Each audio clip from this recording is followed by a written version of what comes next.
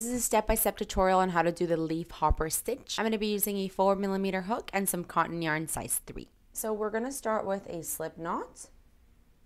And for the stitch, you want to start with a foundation chain that's a multiple of 4 plus 3. So I'm going to do 12 plus 3, which is 15. And this is my foundation chain of 15. For row 1, we're going to skip the first 3 chains. And onto the fourth, you're going to do one double crochet. So that chain three you skip does count as a stitch. And now you're to double crochet all the way down to finish row one. So this will be just a row of double crochets. And this is the end of row one. For row two, you want to start by chaining three, which counts as a stitch. So one, two, three. And now you're to flip your work. You're to skip that first stitch because you already have that chain three for it. On the second one, you're going to do a double crochet. And now we're going to work our first leaf, leaf hopper cluster. This is a really fun one, so I'm going to explain it really slowly. Essentially, you're, you're working this next stitch. Right now, it's your third stitch, right? But for it, you're going to start by going into the pillar of the second stitch. So this one here. So we're going to yarn over and rather than working into the stitch that you're currently on, you're going to go behind the pillar of the double crochet beneath this double crochet you just did. So I'm going to go behind it like this. And now I'm going to grab my yarn and pull it through the back of that pillar. I'm going to pull it up so that it matches the height of the double crochet that I just made. And I'm going to do that one more time. I'm going to yarn over, go behind the pillar, grab my yarn and pull it through upwards. So currently I have five loops on my hook. I'm going to yarn over and pull through four of them and stop. So now we're going to do the same but we're going to skip this stitch. We're going to go into the next one to do the same thing. You're going to yarn over and not into the pillar of the next stitch, but the one after. You're going to go behind it, grab your yarn and pull it through, pull it upwards. Do that again, go behind the pillar, grab my yarn and pull it upwards. Now I'm going to have six loops on my hook. I'm going to yarn over and pull through four. Three loops in my hook, yarn over and pull through all three. And I want to take some time explaining this a little bit further. So this is your first leaf hopper cluster. Essentially, you're still creating just one stitch, which is for that middle one that you skipped but you worked it in the one before and after. But you still just create one stitch. And so moving forward, uh, the next thing you want to do is do three double crochets into the next three stitches. But remember, since you're on your count, you're still on this stitch, you're going to work the first double crochet into where you have the second leaf hopper cluster. So if you turn your work me actually just show you before I do it. You see you worked two leaf hopper clusters in the stitch in the middle. So on your fourth stitch, which is this one, where the second leaf hopper cluster is coming out of, that's where you're gonna work your double crochets. So let's do that. It's easier if you flip your work to see it. So let's do double crochet into technically what is the fourth stitch right now for me.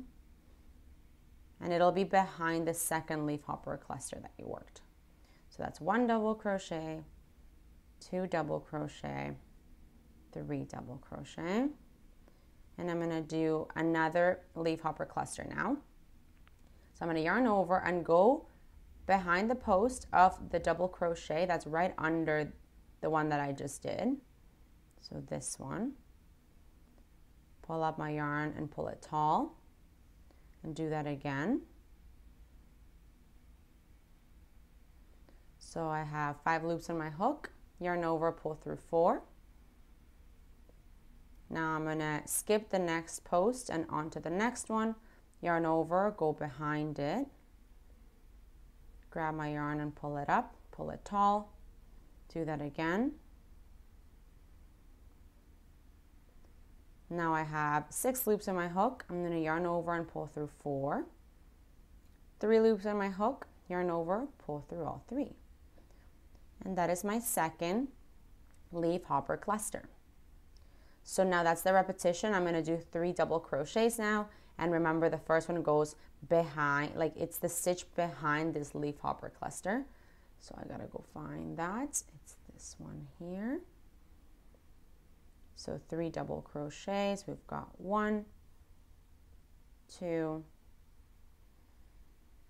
and three. And this will be my last leaf hopper cluster of my row. I'm going to yarn over and go behind the post of the double crochet under the one I just made. Behind it, grab my yarn, pull it up and pull it tall. Yarn over, behind it, pull it up and pull it tall. Five loops on my hook, yarn over, pull through only four.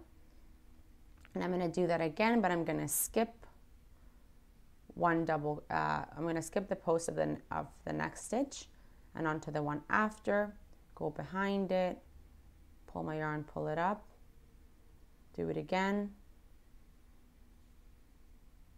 Six loops on my hook, yarn over, pull through four, three loops in my hook, yarn over, pull through all three.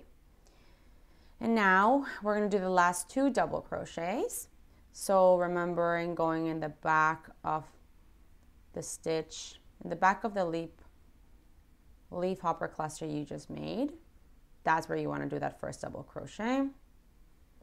And now since that chain three does count as a stitch, you're going to go at the top of the chain to do your last double crochet. So at the very end of your work, you're just going to do two total double crochets. And there you have it. It's the end of row two. Row three is simple. We're going to start with a chain three. Flip your work, and this chain three does count as a stitch, so you're just going to skip that first stitch. And onto the second, you're going to do a double crochet. And now along all of this row, you're just going to do double crochets from beginning to end. And this is the last bit. Remember that the chain three does count as a stitch, so you got to do a double crochet into the top of that chain. And this is the end of row three. For row four, you're going to chain three and flip your work. You're going to skip that first stitch and you're going to do one double crochet into the next three stitches.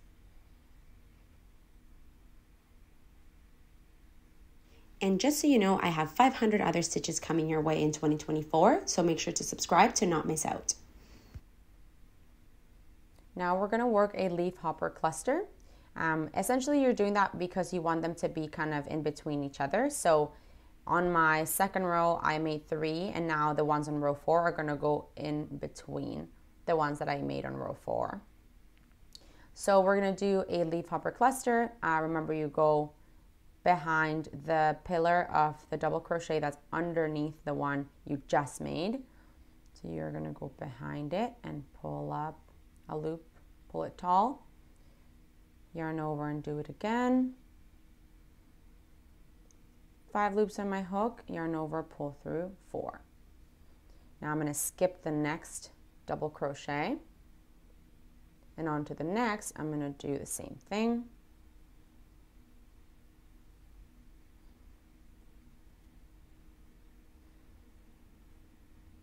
Six loops on my hook, yarn over, pull through four, three loops on my hook, yarn over, pull through three.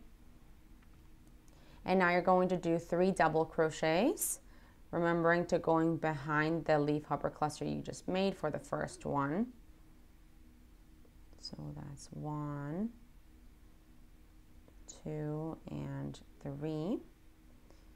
And now I'm going to work another leaf hopper cluster by going behind the pillar of the double crochet that I just made. You pull it up, yarn over, pull up. Now skip the next one and on to the next. Do another leaf hopper cluster. Pull through four, pull through three. All right. And because of my stitch count, I'm at the end of, very close to the end of my row. So I'm gonna finish this row with four double crochets. So I'm gonna go behind this leaf hopper cluster I just did. One double crochet, and I have three stitches left. So we're gonna go one double crochet, two double crochets, and the last one will be on top of the chaining of the, the turning chain. And now we're gonna do our fourth double crochet to finish row four. Row five is gonna be as row three. After that, you're gonna do row repetitions from two to five. And essentially it's gonna give you something that looks just like this. Really gorgeous, beautiful texture. It adds these like little leaves in your work. If you like this video, don't forget to subscribe. I have 500 other videos coming your way in 2024, so don't miss out.